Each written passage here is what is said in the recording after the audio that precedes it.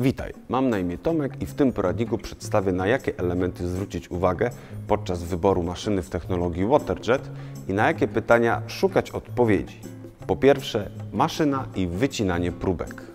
Jeżeli to możliwe, warto być przy wycinaniu próbek. Wycinać próbki z tego samego materiału, najlepiej posiadać swój materiał, z którego będą wycinane próbki na różnych maszynach.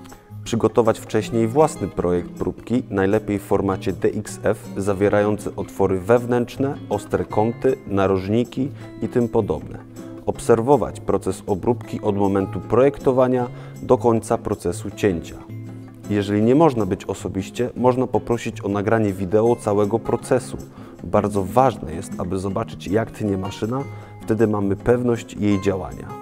Bardzo dokładnie zmierzyć wycięte części, sprawdzić jak wyglądają narożniki, szczególnie od wewnątrz. Najtrudniejszym elementem do wycinania przez tego typu maszynę jest wnętrze narożników w grubszym materiale. W przypadku grubszych materiałów warto zmierzyć różnicę między górnymi i dolnymi krawędziami wycinanego elementu. Zachować wyciętą próbkę i zapisać przy jakich parametrach technologicznych była wycinana.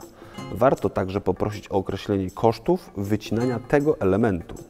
Sprawdzić powtarzalność. Powtarzalność to zdolność do powtarzalnej produkcji tego samego elementu z tą samą tolerancją. Nie osiągnie się swoich celów, jeżeli będzie potrzeba wycinać element 5 razy, zanim osiągnie się akceptowalny efekt. Aby sprawdzić powtarzalność, robimy kilka takich samych elementów w różnych punktach stołu maszyny. Można je położyć jeden na drugim i sprawdzić, czy pokrywają się linie i krawędzie. Jeżeli maszyna jest dobra, nie powinno być żadnej różnicy. Koszty operacyjne. Warto zapytać, jakie są wszystkie koszty uruchomienia maszyny oraz godziny jej efektywnej pracy.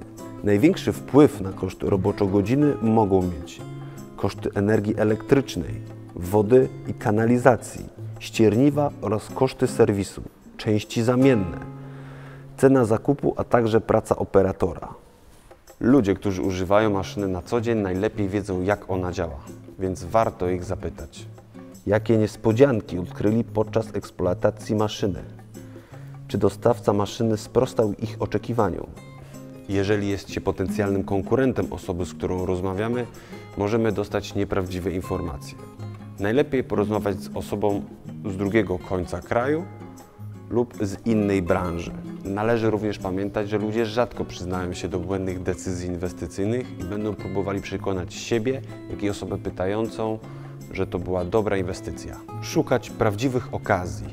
Jedną z lepszych okazji będzie zakup maszyny potargowej lub demonstracyjnej. Cena będzie prawdopodobnie sporo niższa.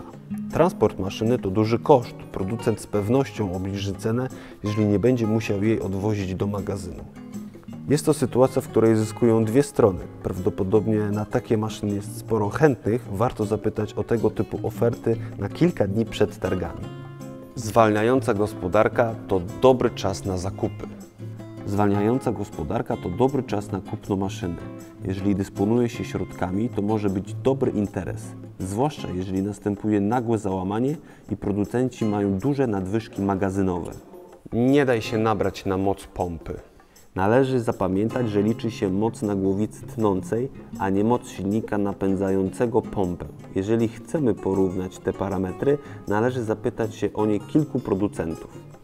Pamiętaj, że im większa moc silnika, tym więcej zapłacimy za energię elektryczną. Oprogramowanie to ważna rzecz. Bardzo istotnym, może nawet najważniejszym elementem każdego urządzenia jest oprogramowanie sterujące. Dobre oprogramowanie powinno optymalizować ścieżki cięcia, co gwarantuje uzyskanie najlepszej jakości, krótkiego czasu wykonania elementu. Oznacza to, że pompa i głowica o mniejszym ciśnieniu może konkurować z pompą i głowicą o dużych mocach w zakresie szybkości i precyzji cięcia, a także kosztów operacyjnych. W przypadku zakupu tańszych maszyn, często wyposażonych w uniwersalne sterowniki i oprogramowanie niededykowane do tej technologii, oszczędzisz na starcie, ale w dłuższym czasie zapłaci się więcej. Opcje dodatkowe. Warto zastanowić się nad zakupem maszyny, którą można będzie w przyszłości rozbudować o dodatkowe opcje. Nawet jeżeli będzie ona droższa lub nawet w tej samej cenie od maszyny niższej jakości, ale ze wszystkimi akcesoriami. Szkolenie kadry pracowników. Szkolenie to także istotna sprawa przy zakupie i dobrze jest, jeżeli są wkalkulowane w cenę maszyny. Należy się dowiedzieć, co wchodzi w zakres takich szkoleń i ile osób może w nich uczestniczyć. W ramach takiego pakietu szkoleniowego instruktaż powinien odbyć się po instalacji maszyny lub jeszcze przed, przykład w siedzibie producenta czy dystrybutora. Należy też zapoznać się z ofertą szkoleń nadprogramowych, ponieważ w przyszłości możemy potrzebować skorzystać z takiej opcji. Jeżeli uważasz, że nie poradzisz sobie z wyborem takiej maszyny, warto skorzystać z fachowego doradztwa technicznego lub pobrać listę sprawdzającą, która znajduje się w opisie tego filmu. Dziękuję bardzo za uwagę. Mam nadzieję, że materiał był pomocny i pomoże w wyborze maszyny. Pozdrawiam.